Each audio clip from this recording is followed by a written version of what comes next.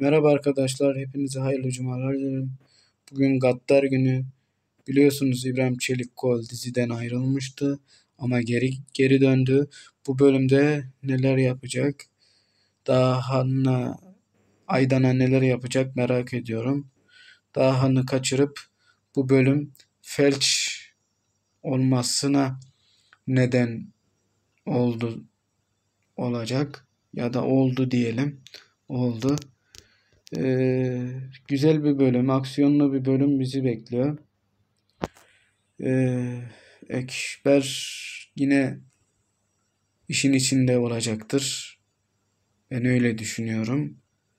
Ee, Ekber karakterinde bir 5 biliyorsunuz bir yol çıktı ama hala ortalıkta yok. Bence bu ortalıkta olmamasının nedeni ikinci sezona işaret ediyor. Ee, ben öyle düşünüyorum en azından. Sizler ne düşünüyorsanız yorumlarda belirtin. İletişimde olalım arkadaşlar. Hoşçakalın.